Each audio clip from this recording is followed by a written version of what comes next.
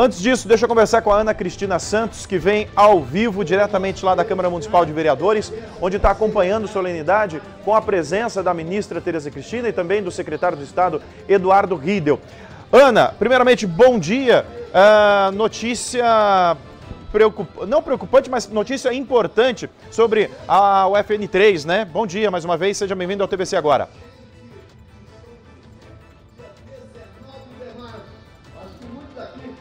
Rude. Bom dia, boa tarde para todos que estão na sintonia do TVC agora. A gente fala aqui direto da Câmara de Vereadores de Três Lagoas, aonde acontece um evento para o lançamento de pacote de obras. Neste momento, inclusive, o prefeito Ângelo Guerreiro nos faz né, o uso da palavra na tribuna, falando sobre essas obras de macrodrenagem que serão feitas para resolver os problemas dos grandes alagamentos. Então, serão mais de 70 milhões de reais investidos em obras de macrodrenagem para resolver o problema dos alagamentos.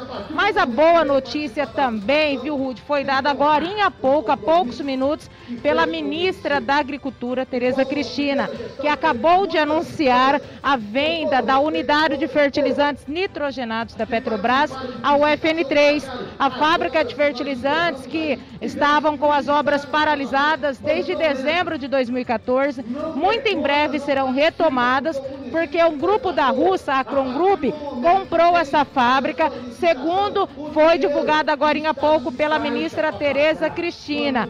É, em outubro do ano passado, a ministra esteve é, na Rússia conversando com os empresários, falando sobre a importância desta fábrica, principalmente agora, nesse momento em que o Brasil enfrenta a falta de fertilizantes, e a ministra, é, juntamente com todo o governo federal, enfim, acabou convencendo o grupo russo de comprar essa fábrica. Na semana passada, inclusive, o governador Reinaldo Azambuja, juntamente com os secretários de Infraestrutura e Desenvolvimento Econômico, estiveram em Brasília, é, reunidos com o presidente da Petrobras, justamente para cobrar um posicionamento da estatal sobre a fábrica de Três Lagoas. E agora, então, hoje, a ministra dá esta excelente notícia para a cidade. É uma notícia que a população de Três Lagoas, os empresários, trabalhadores aguardavam há muito tempo, porque é uma fábrica que vai gerar muitos empregos. Durante a construção dessa fábrica, Rude, só para você ter uma ideia, essa fábrica gerou mais de 10 mil empregos. E agora, com a retomada, previsão é de que esta fábrica volte a gerar mais de 7 mil empregos, 10 mil empregos, e isso é muito importante para a retomada da economia. É tudo isso que o Brasil está precisando nesse momento, que a economia seja retomada, que mais empregos sejam gerados, e essa fábrica vem justamente para isso.